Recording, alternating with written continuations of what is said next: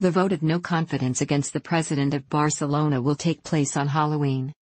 Barcelona, the referendum on the motion of censure against Josep Maria Bartomeu's directive will take place, if the health authorities of Catalonia allow it or if the president does not first tender his resignation, during the weekend of 31st of October and 1st of November and various voting points will be put in place, beyond the Camp Nou, in Barcelona, Tarragona, Lleida, Girona and even in other places in Spain, Madrid, and Seville being considered the most likely places.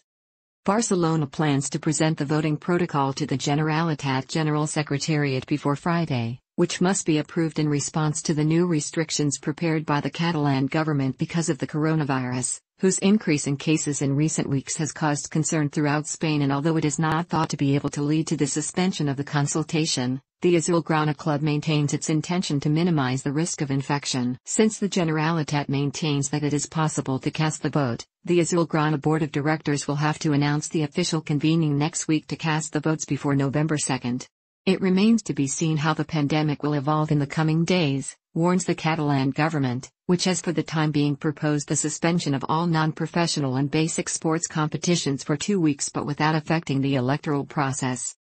They are not going to suspend the consultation, the motion's proponents maintain, convinced that Bartomeu is in the countdown and that if he clings to the presidency without resigning before the vote, his defeat will be indisputable.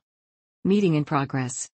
The president cancelled the board meeting scheduled for this week, he did not convene it as planned, and this decision was seen as a last attempt to delay the deadlines, probably convinced that the health situation would lead to a change of scenario within the Catalan government, with a suspension of the vote. The data are not good and the forecasts indicate more restrictions, so there is an urgent need to hold the referendum, said Marc Duch, a spokesman for the motion's proponents, who have already indicated October 24 and 25 as the ideal date to hold the votes, dates that have been ruled out of the club because he did not have time to prepare the protocol and present it to the Generalitat.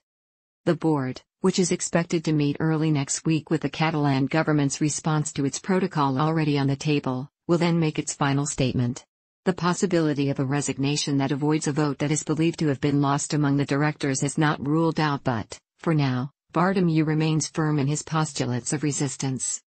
The announcement of a further salary cut to be discussed with the footballers, and which ventures into a difficult agreement, and the negotiation for the renewal of Ter Stegen's contract suggests that the president intends, against the advice of some of his directors, to remain in office at any cost.